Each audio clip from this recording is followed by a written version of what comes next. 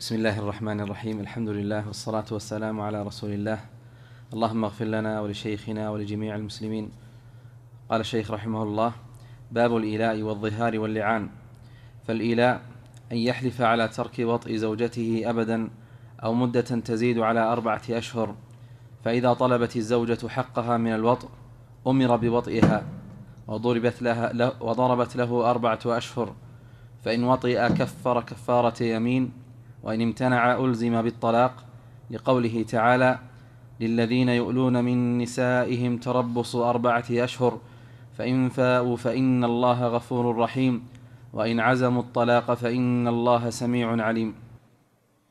الحمد لله رب العالمين وصلي وسلم على نبينا محمد وعلى آله وأصحابه أجمعين. أما بعد يقول المصنف رحمه الله باب الإيلاء والظهار واللعان.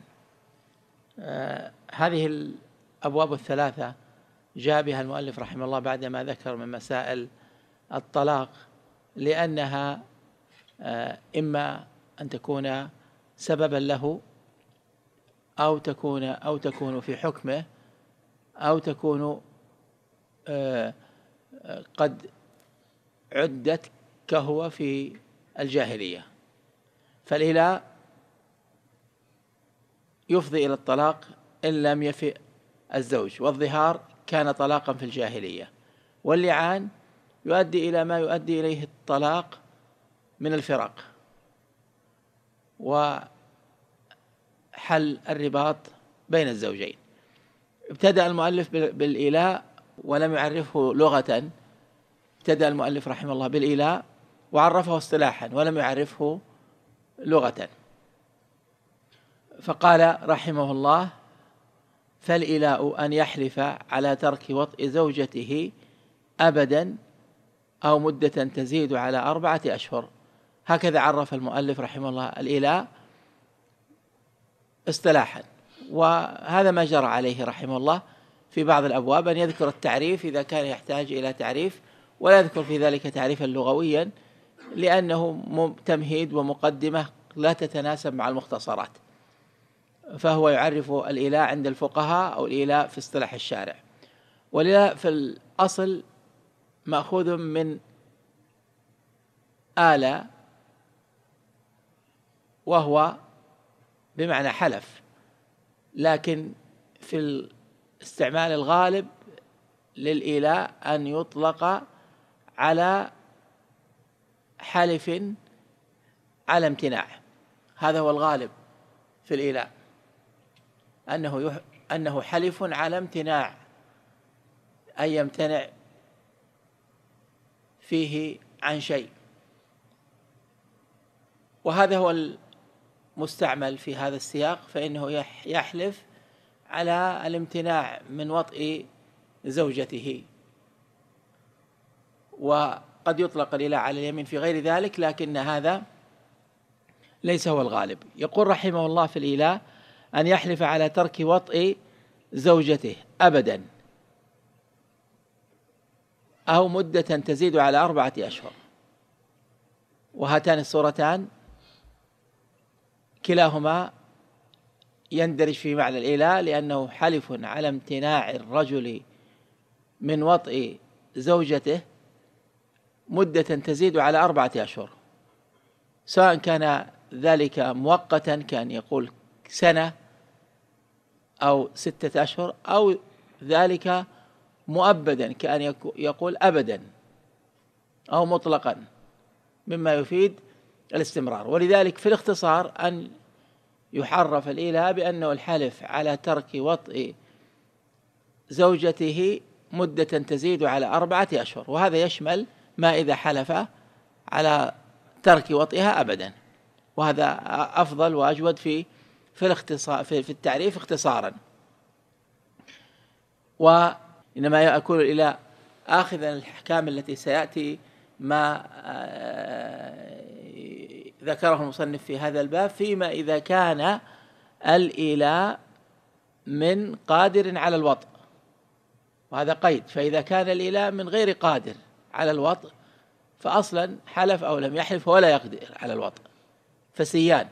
ولذلك يشترط في إثبات وترتيب أحكام الإيلاء أن يكون الزوج قادرا على الوطء. فإن فعل ذلك وحلف فلا يخلو من حالين. القادر على الوطء إن حلف لا يح لا يخلو من حالين. الحالة الأولى أن تطالبه الزوجة بحقها من الوطء. ففي هذه الحال يجب عليه أن يفيء عن يمينه ويرجع بالوطء ويضرب له أربعة أشهر كما سيأتي. وهذه الحالة التي فصل فيها المؤلف وهي محل البحث. الحالة الثانية وهي فيما إذا لم تطالبه المرأة حلف ألا يطأها أبدا أو ألا يطأها سنة وسكتت لم تطالبه بشيء. فهذا يترك وشأنه ما دام أن المرأة لم تطالب فيترك وشأنه. فإن وطأ في هذه المدة التي حلف على ترك الوطء فيها حنث عليه كفارة يمين وإن لم يطأ فلا كفارة عليه. وبهذا يتبين أن البحث في ما سيأتي إنما هو فيما إذا كان قادرا على الوطء وطالبته المرأة به طالبته المرأة بحقها. والأصل فيه قول الله تعالى للذين يؤلون من نسائهم تربص أربعة أشهر. معنى الذين يؤلون من نسائهم أي يحلفون على ترك وطئ نسائهم مدة تزيد على أربعة أشهر لأن الله أمهل المولي أربعة أشهر للذين يؤلون من نسائهم تربص أربعة أشهر. فإن فاءوا فإن الله غفور رحيم. أي فإن رجع فإن رجعوا فهم أهل لمغفرة الله ورحمته. وإن عزموا الطلاق هذه هو الخيار الثاني. فإن الله سميع عليم. ولهذا إذا حلف الرجل على ترك وطئ زوجته طالبت وهو ما أشار إليه بقوله فإذا طلبت الزوجة حقها من الوطء أمر بوطئها. وضربت له أربعة أشهر أي مدة تربص فإن وطئ. وهذا هو الفيئة التي أشار إليها قوله تعالى فإن فاءوا فإن الله غفور رحيم. فإن فاء فذلك هو المطلوب منه وهو أحب الأمرين إلى الله عز وجل لأن الله تعالى رتب عليه مغفرة ورحمة ويجب به إيش؟ كفارة يمين يجب به أي بالوطء في هذه الحال كفارة يمين لقول الله تعالى لا يؤاخذكم الله باللغو في أيمانكم ولكن يؤاخذكم بما عقدتم الأيمان. فكفارته إطعام عشرة مساكين من أوسط ما تطعمون أهليكم أو كسوتهم أو تحرير رقبة. فمن لم يجد فصيام ثلاثة أيام ذلك كفارة أيمانكم إذا حلفتم. ولذلك قال كفر كفارة يمين كفر كفارة يمين على نحو ما ذكر الله تعالى. وإن مضت المدة ولم يطأ وهو مصر على عدم وطئها وهي مقيمة على دعواها يعني مطالبة له بالوطء قيل له إما أن تطأ وإما أن نلزمك الطلاق وهو ما أشار إليه في قوله وإن امتنع يعني من وطئها مع مطالبتها ألزم بالطلاق. يعني أجبر على فراقها هذا معنى ألزم بالطلاق يجبره الحاكم على فراقها. فإن امتنع من طلاقها. قال أنا من مطلق؟ لن أطلق ولن أجامع. ففي هذه الحال يطلق عليه الحاكم وهو القاضي إزالة للضرر ودفعا للإساءة والمضرة عن المرأة. وهذا الطلاق حكمه واجب. قد تقدم أن الطلاق تجري فيه الأحكام الخمسة مستحب ومباح وواجب ومحرم ومكروه. ومما نصوا عليه قالوا قالوا وهو واجب للإيلاء أي لأجل الإيلاء إذا أولى. على نحو ما تقدم من أنه قادر على الجماع وأن المرأة تطالبه به.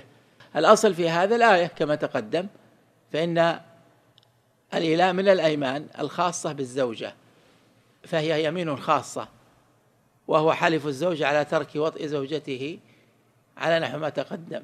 مدة تزيد على أربعة أشهر فيشمل ما إذا حلف مطلقا أو آه، آه، مقيدا. المسألة التي تليها ما يتعلق بالظهار. قال رحمه الله والظهار أن يقول لزوجته أنت علي كظهر أمي ونحوه من ألفاظ التحريم الصريحة لزوجته فهو منكر وزور ولا تحرم الزوجة بذلك لكن لا يحل له أن يمسها حتى يفعل ما أمره الله به في قوله تعالى والذين يظاهرون من نسائهم ثم يعودون لما قالوا إلى آخر الآيات فيعتق رقبة مؤمنة سالمة من العيوب الضارة بالعمل فإن لم يجد صام شهرين متتابعين فإن لم يستطع أطعم ستين مسكينا وسواء كان الظهار مطلقا أو مؤقتا بوقت كرمضان ونحوه وأما تحريم المملوكة والطعام واللباس وغيرها ففيه كفارة يمين لقوله تعالى يا أيها الذين آمنوا لا تحرموا طيبات ما أحل الله لكم إلى أن ذكر الله كفارة اليمين في هذه الأمور. الظهار مأخوذ من الظهر وذلك أن المتكلم به يشبه من تحل له بظهر من تحرم عليه. فيقول أنت علي كظهر أمي أي في التحريم والمنع وعدم الجواز. هذا وجه تسمية الظهار ظهارا. أما آه تعريفه فقد عرفه المؤلف رحمه الله ببيان القول الذي يثبت به الظهار. قال والظهار أن يقول لزوجته أنت علي كظهر أمي. أنت علي كظهر أمي. وهذا أعلى ما يكون من صور الظهار لأنه شبه من تحل له بأعظم النساء تحريما وهي أمه. ويلحق بالأم من تحرم عليه من محارمه تحريما مؤبدا. كأخته وعمته وخالته ونحو ذلك. وقوله رحمه الله والظهار أن يقول لزوجته أنت علي كظهر أمي. أن الظهار خاص بالزوجة فلا يكون في القول لغيرها لأن الله تعالى قال للذين يظاهرون من نسائهم. من هنا بيانية. فلو حرم أمته مثلا لم يكن ذلك ظهارا. بل هو من جنس تحريم الطعام والشراب. تجب فيه كفارة يمين. ويؤخذ منه أيضا أنه لا يقع الظهار على امرأة لم يتزوجها. فلو ظاهر من امرأة قبل نكاحه كان قال فلانة عليك ظهر أمي. فهذا ليس ظهارا إنما هو يمين يكفرها كفارة يمين.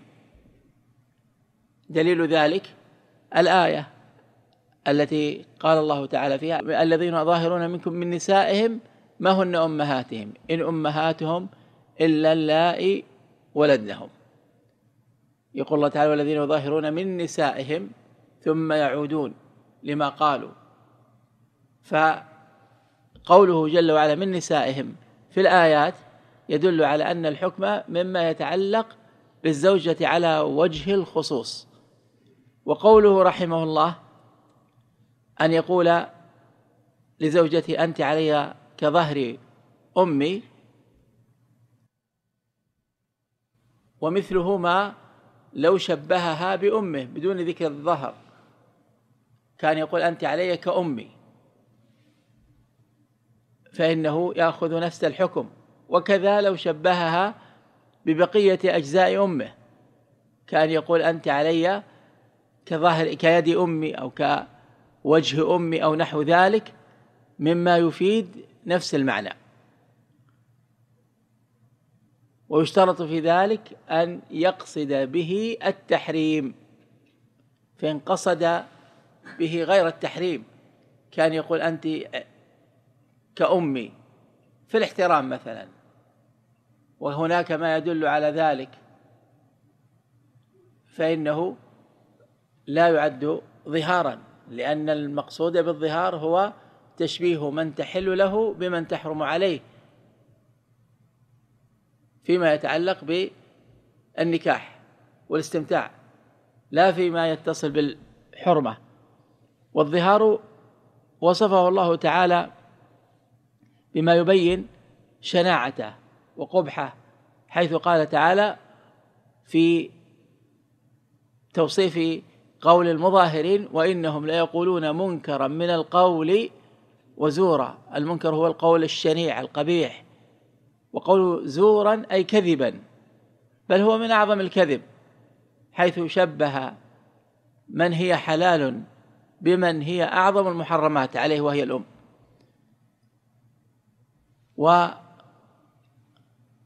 ولذلك قال المصنف رحمه الله فهو منكر وزور. أي أن أنه من المنكرات المحرمة وهو زور وكذب. كما ذكر الله جل وعلا في قوله وإنهم ليقولون منكرا من القول وزورا. فالظهار محرم لأن الله تعالى سماه منكرا من القول وزورا. وقد كان في الجاهلية يستعمل هذا اللفظ للإخبار بالطلاق فكان الظهار طلاقا في الجاهلية. فلما وقع في الإسلام وسأل عنه من وقع منه بين الله تعالى حكمه بالآيات التي أنزلها في سورة التحريم. قال رحمه الله ولا تحرم الزوجة بذلك. أي هذا القول لا يفيد تحريم المرأة لأنه منكر من القول وزور فلا يرتب عليه أثره في التحريم. لكن جعل الله تعالى له عقوبة تمنع من المضي فيه. فقال جل وعلا والذين يظاهرون من نسائهم ثم يعودون لما قالوا فتحرير رقبة من قبل أن يتماسا. هذا الحكم المترتب على صدور الظهار وذلك بالكفارة التي بينها الله تعالى في الآيات. قال تعالى فتح رقبة مؤمنة من قبل أن يتماسى ذلكم توعظون به والله بما تعملون خبير. فمن لم يجد فصيام شهرين متتابعين من قبل أن يتماسى فمن لم يستطع فإطعام ستين مسكينا. ذلك لتؤمنوا بالله ورسوله وتلك حدود الله وللكافرين عذاب أليم. وقد بينت الآية الكفارة إلا أن الله عز وجل أناط الكفارة بوصف وهو العود حيث قال والذين يظاهرون من نسائهم ثم يعودون لما قالوا. واختلف العلماء رحمهم الله في معنى العود فقيل معنى العود العزم على جماع من ظاهر منها. وأنه بمجرد عزمه تجب عليه الكفارة التي ذكر الله عز وجل. هذا المعنى الأول. وقالوا في الاستدلال لهذا المعنى قالوا إن الله جل وعلا أوجب الكفارة واشترط أن تكون قبل المسيس. قال فتحرير رقبة من قبل أن يتماسى فالعود ليس الجماع إنما هو العزم عليه لأن الجماع ممنوع. وقيل العود معناه حقيقة الوطء ويدل على ذلك أن الله تعالى قال ثم يعودون لما قالوا. ثم يعودون لما قالوا للذي قالوا وهو ما حرموه على أنفسهم. وعلى كلا القولين إذا وجد العود وجبت الكفارة والأقرب من القولين هو القول الأول والله تعالى أعلم. أن المراد بالعود هو العزم. وأما إذا وقع الجماع فهنا قد استقرت الكفارة في ذمة المظاهر. أما العزم فلو عزم ثم نقض عزمه فإنه يختلف عن ما إذا جامع في استقرار الكفارة في ذمته. حتى لو ماتت المرأة أو فارقها بطلاق فعلى القول بأن العودة للجماع إذا جامع وماتت وجبت الكفارة إذا جامع وطلقها وجبت الكفارة لأن شرط الكفارة وجد وهو الجماع. أما إذا كان المعنى العزم على الجماع فإنه إذا عزم على الجماع ثم لم يأته إما استمرارا في ما عزم عليه أو لفراقها أو لموتها فهذا في ترتيب الكفارة تفصيل نشير إليه إن شاء الله تعالى الدرس القادم. والله تعالى أعلم وصلى الله وسلم على نبينا محمد.